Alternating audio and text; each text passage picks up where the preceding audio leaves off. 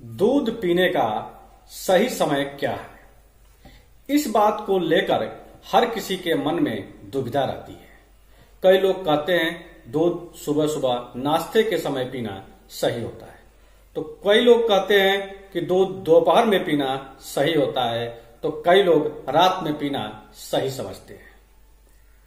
लेकिन आयुर्वेद के अनुसार रात में दूध पीना सही होता है। क्यों सही होता है? इसी विषय पर आज की वीडियो में हम चर्चा करेंगे।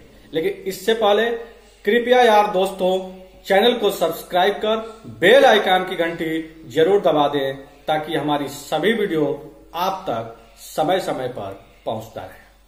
और हाँ वीडियो को लाइक करना न भूलें। दूध में विटामिन ए के और बी ट्वेल्व थाइमिन और निकोटीनिक एसिड मिनरल्स जैसे कैल्शियम फास्फोरस सोडियम पोटेशियम पाए जाते हैं। यह हड्डियों के लिए फ़ायदेमंद होता है और इससे हमें ताकत मिलती है। दूध की प्रकृति गरु होती है। गरु यानी भारी, जो पचने में काफ़ी समय लेती है। कमज़ोर पाचन शक्ति, त्वचा संबंधित समस्याओं, खांसी, कफ पेट के कीड़े जैसी समस्याओं से अगर आप ग्रसित हैं तो दूध आपके लिए बहुत ही हानिकारक होने वाली है। कृपया दूध न पिए। आपने देखा होगा कि अक्सर माताएँ घर में छोटे बच्चों को दिन में दूध बार बार पिलाती रहती है, क्योंकि वे बच्चे भोजन नहीं कर पाते हैं और उनके लिए दूध नेसेसरी होता है। लेकिन आपने देखा होगा कि दूध पीने वाले ये बच्चे दिन में ज़्यादातर समय सोते रहते हैं। ऐसा क्यों?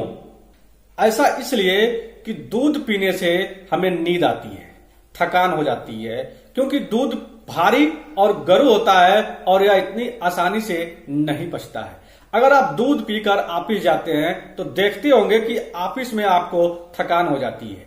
आपको आलस आने लगता है और आपको नींद आती है। आप कुर्सी पर बैठे बैठे सोने लगते हैं।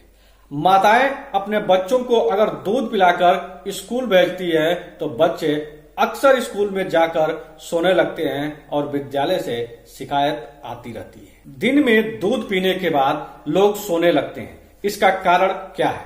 इसका कारण है दूध में मिलने वाला ट्रिप्टोफन नामक एमिनो एसिड। इसकी मौजूदगी नींद के हार्मोन्स स्तर को बढ़ा देती है।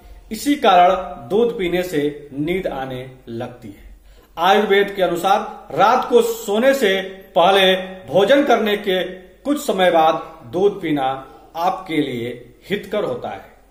रातों में पर्याप्त समय मिलने के कारण दूध अच्छे से पच जाता है और इसमें मिलने वाला विटामिन मिनरल्स, प्रोटीन अच्छे से पच जाता है और आपके लिए लाभदायक होता है।